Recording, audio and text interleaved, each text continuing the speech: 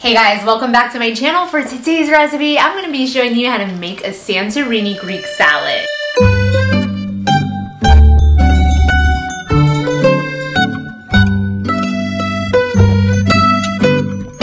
To start off this Greek salad, it's pretty basic. There's only two differences here.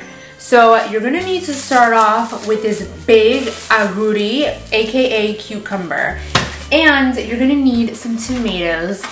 Now, here in the US, the produce just doesn't taste the same as it does in Greece. So every time I'm making Greek salad, I either use these little baby tomatoes or heirloom tomatoes and these are going to ensure that your tomatoes are going to have more flavor as they do in Greece than the more traditional flavorless ones here.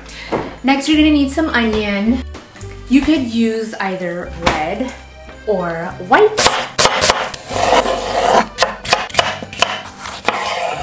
I mean, look at that. What a beautiful looking tomato. So now that you have everything cut, you're gonna go ahead and add the tomatoes to a bowl with your cut cucumber and then your rinsed onion. I'm not gonna add all of it. The next thing I'm gonna do is add a few fresh bell pepper. This next part is what makes the Santorini Greek salad different than a regular Greek salad. This right here is chloro, which is goat milk feta cheese. It's much more creamier than your regular feta. You're gonna slice this or crumble it on top of your Greek salad and have a lot of it because it's so delicious in here and it really is like the best part of the salad. If you guys see really big olives, that's not a typical Santorini olive. It hardly rains in Santorini, so the olives are very small, and they typically use these green olives. And last but not least, these are capers. Capers in Santorini grow like wild all over the island. So people use a lot of them because they're just so cheap and accessible. In other Greek islands, they're only found on gourmet dishes because they're imported and they add such a nice bite. They go together so well with everything else in here. And typically you'll even find the leaves of the capers. You can't forget about the oregano. Unfortunately, this is not Greek oregano. And of course, your olive oil. Drizzle of oil. This part is optional, but I love to dress my Greek salad with some red wine vinegar. It makes a little dressing.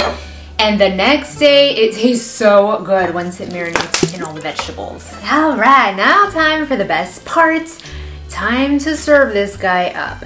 You could break the feta cheese as so, or you can just serve it right onto your serving plates and make sure that you mix this up very well. Now the reason why I didn't add salt to the tomatoes and all the vegetables was because if you guys didn't know, feta cheese is a little salty. Look at that guys. Could you think of anything more fresh and delicious to eat for lunch? Now if you took this to lunch the next day for work, it tastes so good. It actually it tastes better in my opinion the next day because that vinegar and oil, it really marinates the onions so it doesn't have too much of a harsh bite. Everything just really blends together so well. Stini says. Mmm. Mmm.